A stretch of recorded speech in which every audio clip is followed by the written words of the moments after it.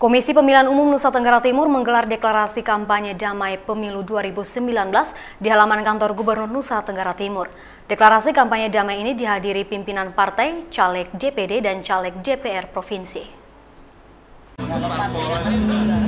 Komisi Pemilihan Umum menggelar kampanye damai di halaman kantor Gubernur Nusa Tenggara Timur. Ketua Komisi Pemilihan Umum Nusa Tenggara Timur, Marianti Adu, mengatakan jadwal kampanye untuk peserta pemilu baik caleg DPRD Nusa Tenggara Timur, DPRD Kabupaten, Kota, maupun calon DPD RI akan dimulai 23 September 2018.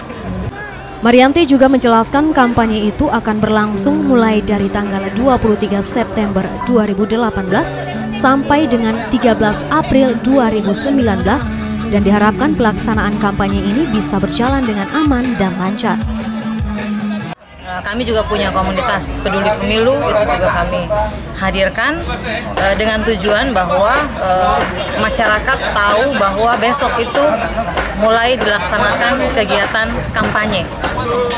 Jadi tujuan utamanya itu dan untuk peserta pemilu sendiri tujuan utamanya adalah supaya mereka melaksanakan kampanye itu dengan mendidik, memberikan edukasi kepada masyarakat sebagai pemilih. Deklarasi kampanye damai ini ditandai dengan pelepasan burung merpati oleh Ketua KPU NTT, Ketua Bawaslu beserta pimpinan partai dan para caleg. Dari Kupang, Oktobala, tim iNews melaporkan.